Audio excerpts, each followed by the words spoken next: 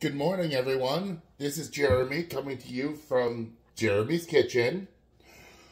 So, it is currently 8:36 a.m. on Sunday, February 11th.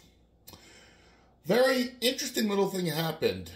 See, my mom and brother left early for an engagement that they had, but I accidentally made another pot of coffee. So, I'm going to make my mom another batch of coffee for tomorrow morning. But, opportunity knocks always, so I thought it would be very interesting if I tried a cup of coffee for the first time. It's true, I've never drank coffee. I never felt I had to. But,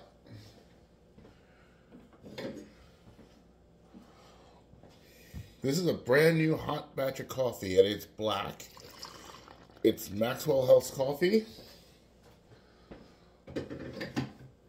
I'm not a big fan of hot beverages.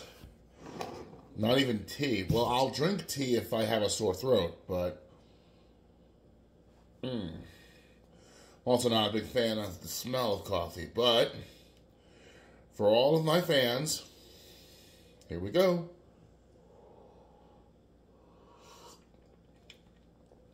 Ugh. No, no, no. I'm sorry. Ugh. Ugh.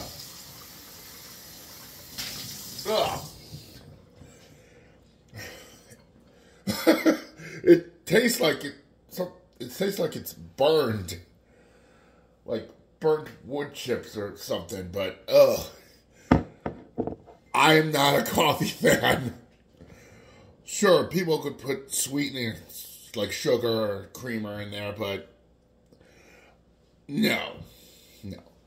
But I'm happy to say I've tried coffee for the first time, so there you go. Not a coffee fan.